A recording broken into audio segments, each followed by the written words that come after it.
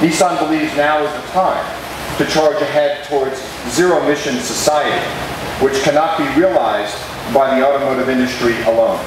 This is an exciting day as we stand alongside those who are equally committed, as all of you are, to smart, sustainable living, to demonstrate for the first time in Canada the next evolution of how sustainability and mobility come together and benefit the world and impact our consumers. With vehicle-to-home technology, the energy stored in the 24 kilowatt lithium ion battery here in the Nissan Leaf will be able to provide the typical Canadian household with enough electricity for a full day. Imagine reversing the flow of energy from your car, your Nissan Leaf, to your home during a power, power outage.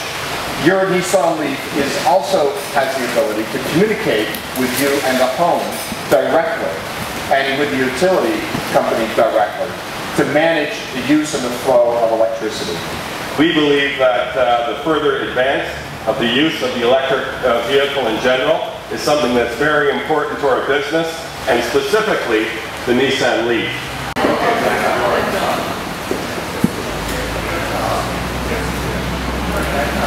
Project and certainly we hope at Georgian College that it'll be part of a bigger research project that we are, obviously PowerStream is very showing you that electricity is flowing from the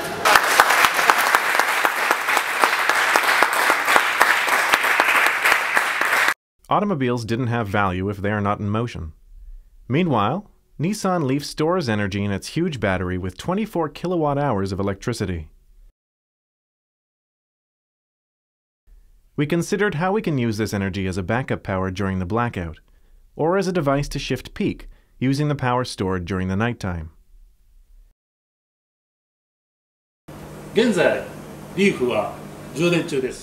This leaf is now being charged,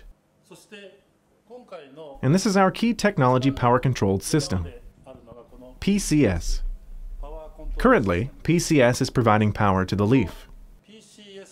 Now, I'd like to show you the reverse case, to supply power to the house from the leaf. First, let's simulate the blackout by cutting the power.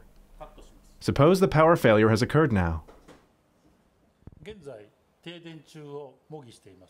If I tap on the power supply button on the touch panel, PCS and the leaf start talking to each other.